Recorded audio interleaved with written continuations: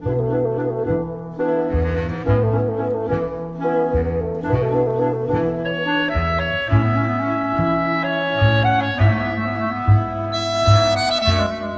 aquí estamos, celebrando a la vida al continuar juntos por el largo camino del amor, la amistad y la familia. Y es por eso que solo buscamos un pretexto para agradecerte, Manuel Pérez Miranda, por el legado que has dejado a quienes tenemos la fortuna de conocerte en diversos ámbitos. Te pedimos voltear hacia atrás y recordar juntos tu historia de vida, tal como lo has hecho durante tantas décadas dedicadas al periodismo, porque precisamente eso, los periodistas, somos artesanos de historias y la tuya merece ser contada.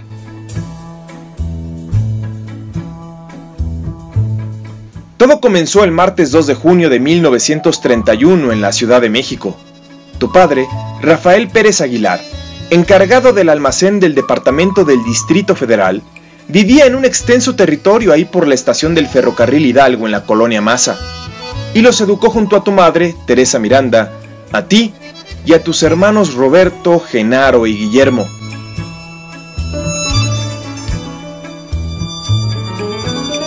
La primaria Vasco de Quiroga, en pleno corazón de Tepito, te tuvo como alumno junto a otros ilustres personajes que con el tiempo se convertirían en íconos del boxeo mexicano como los hermanos Macías. Cuando tenías 13 años, cambian su residencia a Miscuac, regresas a esa zona que te adoptó para siempre en tu andar por la vida.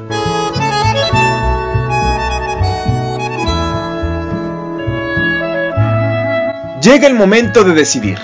Se da el ingreso a la Escuela Militar de Meteorología, una pasión que te manda a Baja California por un año.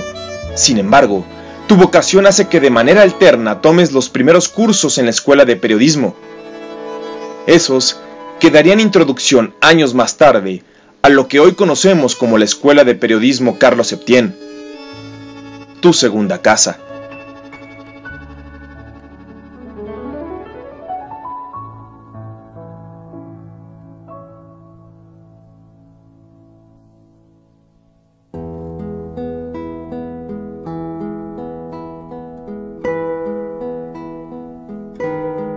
Pero momento, hacemos una pausa Regresemos unos años atrás porque antes de todo este viaje relacionado con tu vida profesional, habías conocido a la hermana de tu amigo Rubén, Tere, en el grupo de la Acción Católica.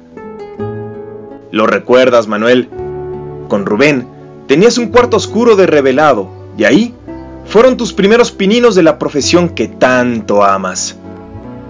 Tere, hija de don Rubén Estrada y doña Micaela Brito, con quien bailaste la primera vez en la boda de la tía Lola, se convertiría en tu compañera, amiga y confidente. Eran los años 50, el momento de tomar las decisiones más importantes de vida.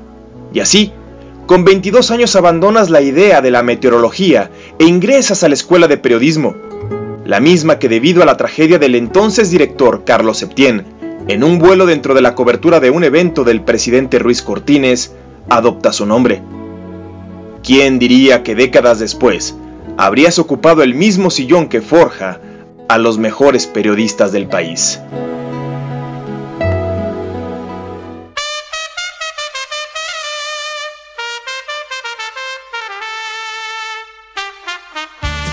En la Septien, conoces entre otros a un gran compañero en tu andar con la pluma, libreta, grabadora, máquina de escribir y cámara, Vicente Leñero.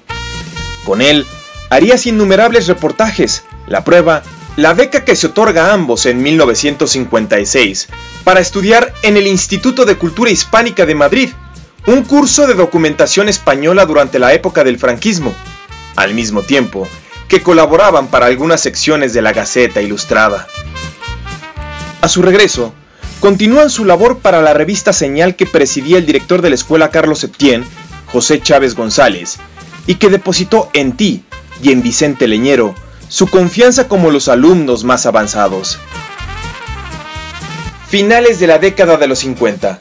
Mientras el noviazgo con Tere, quien cada vez tomaba mayor importancia como trabajadora de la tienda Liverpool, se afianzaba, llegó el momento de ingresar al periódico Informaciones Exclusivas, del cual fuiste director en el periodo de 1958 a 1962.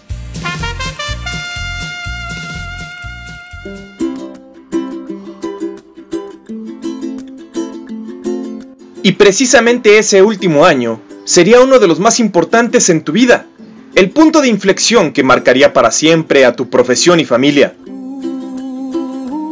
La boda, el 3 de marzo de 1962 en la iglesia de Monte Carmelo con Tere, quien por políticas tuvo que dejar el puesto de jefa del departamento de vestidos de la tienda Liverpool Insurgentes, próxima a inaugurarse. Y de tu ambiente laboral, pese a tener ofrecimientos de importantes periódicos de circulación nacional, preferiste la docencia y ser maestro de tiempo completo en la Escuela de Periodismo Carlos Septién, impartiendo tu conocimiento como años antes lo hiciera contigo el maestro Gonzalo Torrente Ballester, Premio Cervantes de Narrativa y Príncipe de Asturias. Con el tiempo, la familia crecería con la llegada de Lupita, Rafa y Claudia.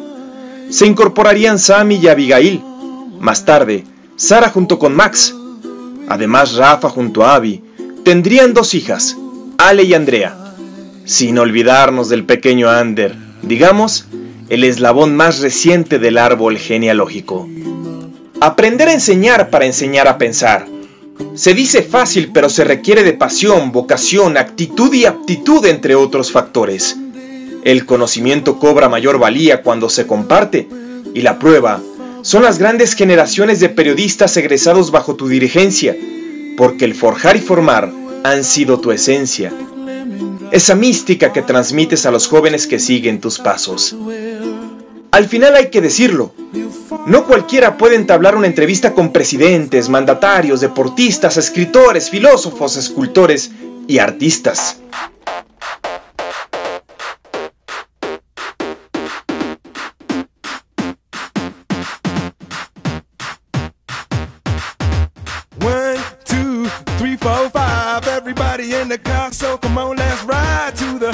Liquor store around the corner. The boys say they want some gin and juice, but I really don't wanna. Be a buzz like I had last week.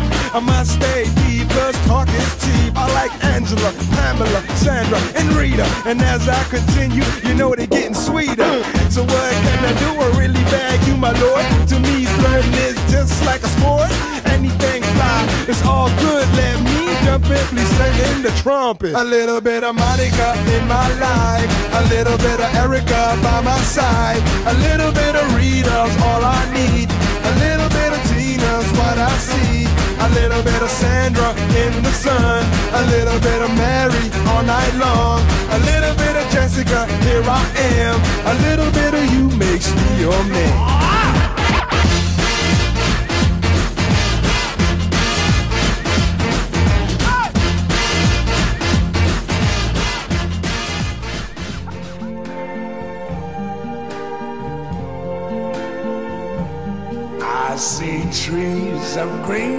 Se dice fácil, pero en dos periodos, el primero bastante prolongado, fungiste como director de tu alma mater.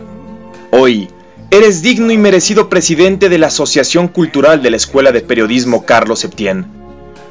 Es imposible resumir en unos minutos la verdadera valía de tu legado. Manuel Pérez Miranda, felicidades. Felicidades por un año más de vida, por un aniversario más junto a la mujer que lleva el mismo paso en tu camino. Hoy, cuando tus recuerdos cobran la misma importancia que tus sueños, volteamos al pasado para darnos cuenta que todo ha valido la pena. Compartimos tu alegría, festejamos tus logros y brindamos por una larga vida.